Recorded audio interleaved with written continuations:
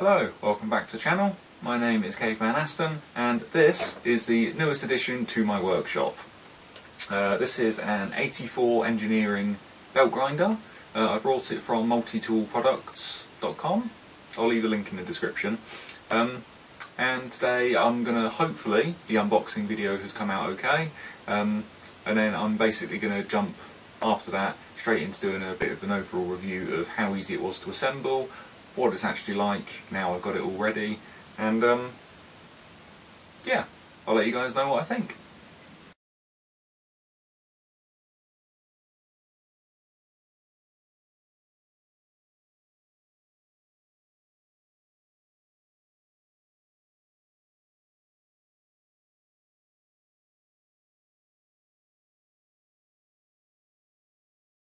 Okay, so I've got most of it out of the uh, boxes. Uh, what I've got here is the base, which I'm going to assemble before I actually put the grinder together on top of it. So I'm going to do that first, follow the instructions. Um, yeah.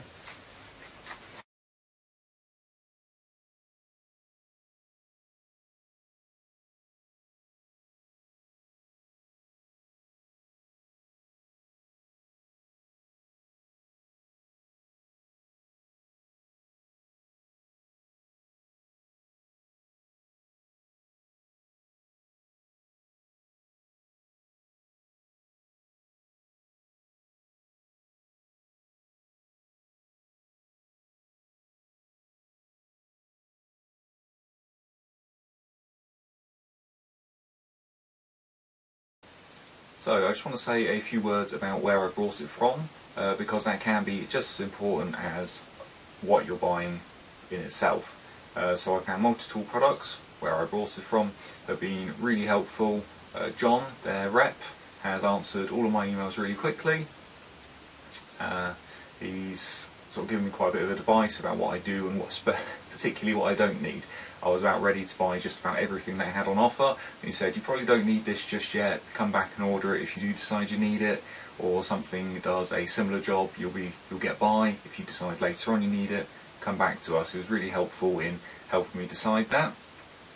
Uh, he also gave me a bit of information about the grinder itself. I asked a few questions about the difference between this and the uh, the 2 meter version, so the two different belt sizes. Turns out they are both the same model, and with the length of arm adjustment it's able to compensate for the different lengths and belts between the 2x72 and a 50 by 2 meter belt. So under the bonnet they're actually the same grinder now on this particular model. So the actual way the entire thing came packed was on a, a standard pallet as far as I know, um, all wrapped up in sort of uh, like the black heavy duty tape stuff that they put over everything to make sure it's waterproof um, and then all of the boxes were incredibly thick cardboard boxes. And a lot of the sort of stuff like the grinder, all of the attachments, um, they've all got special made cardboard cutouts that sit inside the boxes uh, designed to exactly make sort of the shape of the stuff that's inside. So nothing moves around, nothing hits other parts. So it, it gets to you in pristine condition as you would expect but without all of the extra bubble wrap. So lots of recycling to do, now I've unboxed it all absolute mountain in the corner of the garage the other day. Um, but all really well packed, I was really impressed. So, putting this thing together, I'll bring you up close on the legs. Uh, currently now actually bolted to half of the pallet that it came on, just until I find a permanent place to put it. But we'll give a bit of a talk about how the legs were to put together. So the legs, uh, along with the rest of the grinder are all appear to be powder coated which makes for a really nice uh, end result, a lot more robust than some other paints can be. Uh, makes it a little bit more hard wearing. The steel that everything's made from is really nice, thick, sturdy, robust, however you want to look at it. Um, it's not going to go anywhere as you put it together, as you use it. Uh, you'd have to hit it pretty hard with something very heavy to start making a dent in a lot of the metalwork here. Um, the feet, uh, it's like two, not quite right angle bits, but two sections that are bent uh, and then bolt through onto the upright uh, with two bolts. There's then four bolts for the feet to go into the floor and then there's another two bolts that attach the initial upright to the second section of the upright.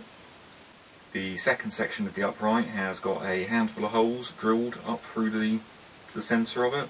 This allows a bit of height adjustment for the grinder, uh, which inside the book tells you approximately the uh, amount of holes you want exposed when you put it together for your height. Then lastly, at the top, it's got the right angle bracket that then attaches to the grinder itself. Uh, there's then like a little kip handle that then just screws in the side. Uh, that is then used to clamp it down at the different angles uh, as you rotate the grinder through 90 degrees that it's got available for movement.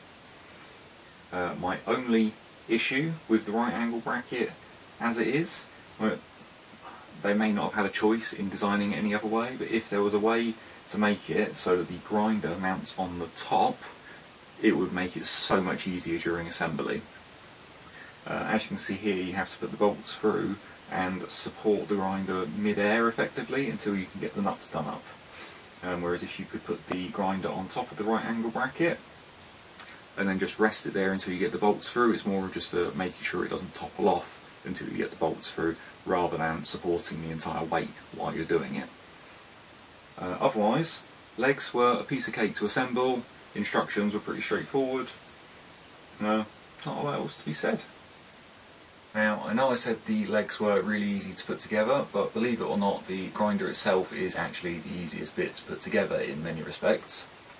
Um, most of it comes pre-assembled, so all of the body here, which I'll get you some close-ups of in a second, uh, all comes pre-assembled in the box, sort of super secured with all of its cardboard.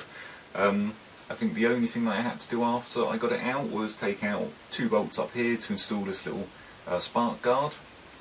Uh, put on the wheel here, that's just a idler slash uh, tracking wheel, uh, tracker up here. Uh, add the motor and then the arms and stuff obviously you just sort of plug in and it's all good to go. So attaching the motor was much like the rest of it, pretty simple to do. It's uh, other than having to lift it in mid-air while I tried to put it on, it's got four bolts that you just screw in through the plate on this side and that holds it. Once you've got one you can let a little bit of the weight off and uh, get the other bolts in so it becomes a lot easier. Uh, my only issue with the whole build process really has been some of the documentation. Could have just done with some either pictures or diagrams, would have uh, painted a thousand words. Uh, and the online video of how to assemble the actual grinder itself, including attaching the motor, appears like it's out of date. It's possibly just the fact that I've got a newer model and there's some subtle differences, but I found like the motor itself and something else was just just subtly different um, and didn't make 100% sense at first. Um, but otherwise, really good, really easy to put together. Um, I really can't recommend it enough so far. Oh, and one last thing with the motor is that on the back here, uh, there is a control box perhaps. This is where the power cable comes in, is uh, that can't go on the top as I found out after initially installing it like that because I was busy trying to balance the motor. Uh, ended up with that up top and it interferes with the arms here so make sure it's on the back or the bottom doesn't appear to be any instructions which way it should go but it means that the power cable hangs straight down which I think is probably best. So here is the grinder side on We'll start at the top. Here is your arm to a, for the tensioner. It's on a gas strut, but the magic happens here, where the gas strut locks in the down position, so that you can change the belt, arguably one-handed. Um, actually, it's, it's a really nice feature. It just keeps it so you don't have to worry about holding it down while you're putting the belt in, and then it just pops up. Then the actual grinder itself, I don't know if you can see from there, but I would say that's probably about 10mm thick plate all the way through absolutely rock solid. Um, this plate on the side, you've got the two kip handles here, which uh, tighten in the plate here or the platen here. Um, we'll start with the plate. This is the plate that comes with the grinder. It's just a basic flat plate, uh, same, sorry, uh, same powder coated uh, finish as the rest of the grinder. Uh, the arm is a hollow steel arm, whereas the platen arm is a solid aluminium arm. Don't know how much difference it makes. There is a bit of weight difference. I can't remember which is heavier, but there's not a massive amount in it. Um, but with the plate, just here, there's a really nice little recess that actually goes beyond the belt. So if you're grinding something and it goes past the belt, you've actually got a little bit of support behind the platen. Um, and it just wraps around the belt, just really, not super snug, but snug enough to have a, a really nice, it just wraps around the belt nice and tight. Um, not a lot to say about this, it's just a, a, big flat plate. It's a decent size, you probably get plenty of stuff on here. Um, and it's, it's pretty thick. Uh, slides out, nice long arms, you've got plenty of adjustability. The platen itself, I think, is a great design. Uh, so it's got this kip handle here, which you loosen off. Maybe you have to adjust that there, like so and what it does is it rotates full 360 and it's just on a pin that sits in here. Um, so arguably the whole thing can come out and can become interchangeable with other bits of tooling. Um, what I like about this is you get the initial platen here with the two wheels. Um, so you've got your various flat and angle or at angled grinding. So you've got any angle you fancy. Um, you then got this uh, contact this size contact wheel, which I can't remember, but you there's uh, the two different contact wheels here and here. You get the as standard. This is uh, an additional item, but I think it was well worth it. The plate comes designed to take it, and it's a 5-inch contact wheel. And then the combination, if you do have all of these, you get the additional contact wheels. You also get the uh, slack belt grinding in between each of these contact wheels with different lengths of slack belt. Um, I think it's a great idea and it just cinches up so it's really easy to use. And you can pop that out.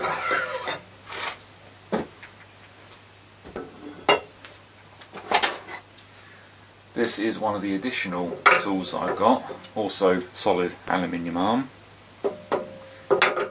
Is the small wheel grinding attachment. Up here you've got a uh, belt deflection wheel, so the belt actually comes on the underside of this, so that you get a much more uh, tight radius on here on the small contact wheels. So it wraps around there, and goes to the back wheel. Same sort of design, so that spins round so you get your two different contact wheels. I suspect that would probably have fit the other arm, but what's done is done. Um, so these come with two different size uh, contact wheels on this and I've been told they're not interchangeable but I don't know. So I've got a second set with different size contact wheels even if they're not interchangeable it does mean I don't have to do quite as much messing around if I do want to change them. That goes in there, locks in flat probably, locks in place and then you get your different size contact wheels. So hopefully here's a slightly better up close of the different size. Contacts, I suspect you can probably pop off the Allen keys there or there and change the contact wheels over because you can buy them individually.